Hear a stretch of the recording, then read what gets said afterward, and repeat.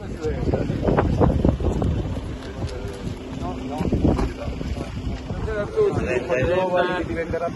la protezione civile.